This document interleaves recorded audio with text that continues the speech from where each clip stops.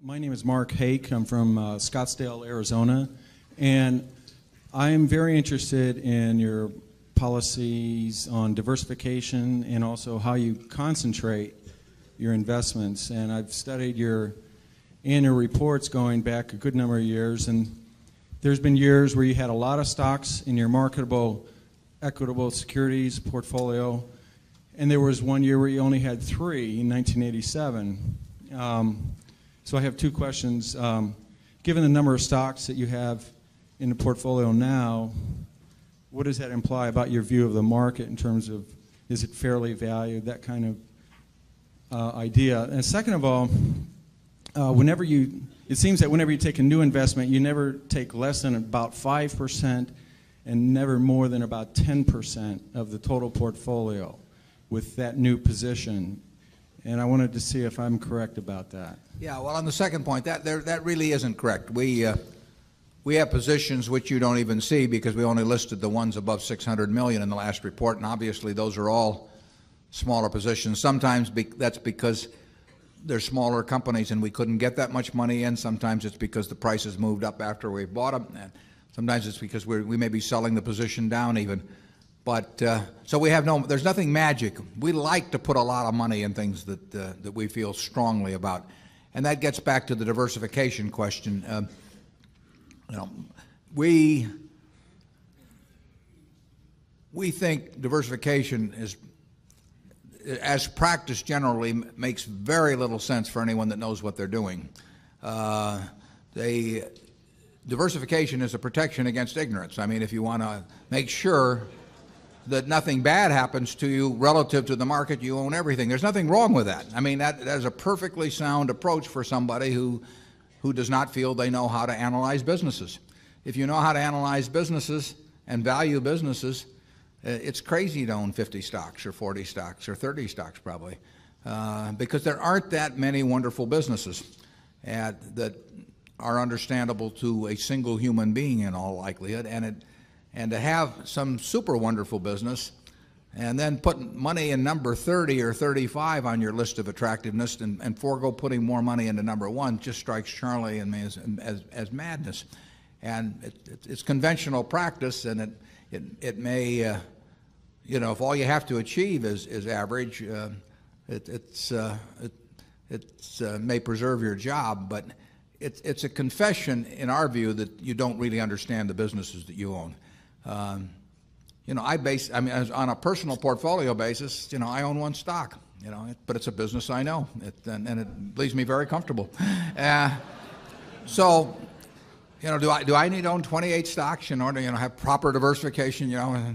Uh, be nonsense. And within Berkshire, I could pick out three of our businesses and I would I would be very happy if they were the only businesses we owned and I had all my money in Berkshire. Now, I love it, the fact that we can find more than that and that we keep adding to it. But three wonderful businesses is, is, more than uh, more than you need in this life to do very well. And uh, uh, the average the average person isn't going to run into that. I mean, if you look at how the fortunes were built in this country, uh, they weren't built out of a portfolio of 50 companies. They were, they were built by someone who, who uh, identified with a, with a wonderful business. Coca-Cola is a great example. A lot of fortunes have been built on that. And there aren't 50 Coca-Colas. You know, there aren't 20. If there were, it'd be fine. We could all go out and diversify like crazy among that group and, and get results that would be equal to owning the really wonderful one. But you're not going to find it. And uh, and the truth is, you don't need it. I mean, if you, if you have a really wonderful business, is very well protected against against the vicissitudes of the economy over time and and and competition. I mean, you know, we're talking about businesses that are resistant to effective competition, and three of those will be better than a hundred average businesses. Uh, uh, and, and they'll be safer, incidentally. I mean, uh, they, there is less risk in owning three easy to identify wonderful businesses there, than there is in owning 50 um, well-known big businesses. And uh, uh, it's amazing what has been taught over the years in finance classes about that. But uh, uh I can assure you that that uh, I would rather pick if, if I had to bet the next 30 years on the fortunes of, uh, of my family that would be dependent upon the income from a given group of businesses, I would rather pick three businesses from those we own than own a diversified group of 50. Charlie? Yeah, what he's saying is that much of what is taught in modern corporate finance courses is twaddle.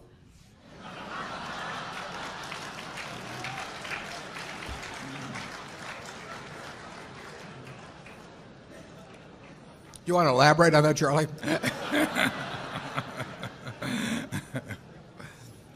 You cannot believe this stuff. I mean, it, it's uh, modern portfolio theory, and uh, yeah, it's it's It has no utility. I mean, it, it, it you know it will tell you how to do average, but you know I I I, I think uh, anybody can figure out how to do average in fifth grade. I mean, it, it's just not that difficult, and uh, it's it's elaborate, and you know there's lots of little Greek letters and all kinds of things to make you feel that you're in the big leagues, but it. Uh, there is no value added. I have great difficulty with it because I am something of a student of dementia, and I have we hang around a lot together. and. I can ordinarily classify dementia, you know, on some uh, theory structure of models, but the modern portfolio theory, uh, it involves a type of dementia I just can't even classify. Something very strange is going on. If you find if you find three wonderful businesses in your life, you'll get very rich. And and if you understand them, bad things aren't going to happen to that, those three. I mean that that's the characteristic of it. It, uh, By the way, maybe that's the reason there's so much dementia. If you believe what Warren said, you could teach the whole course in about a week. yeah.